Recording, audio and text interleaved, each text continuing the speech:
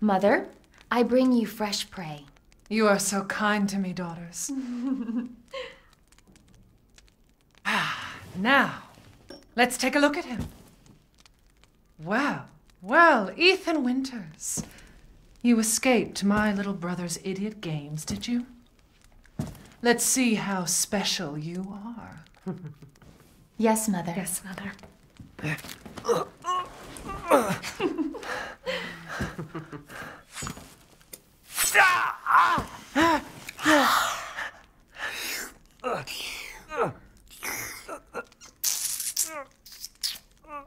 Hmm. Starting to go a little stale. Then let's devour his man flesh quickly, Mother. I am the one who captured him. Now, now, daughters. First, I must inform Mother Miranda. But later, well, there will be enough for everyone.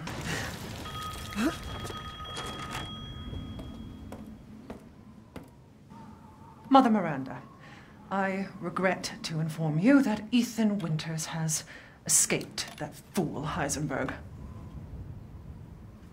Because he is in my castle and has already proven too much for my daughters to handle. When I find him. No, Mother Miranda. Yes, of course, I understand the importance of the ceremony.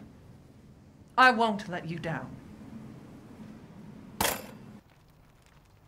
The man is of no real use to anyone else, and my daughters do so love entertaining.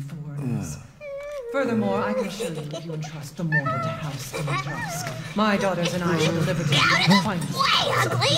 I want to see! He's away!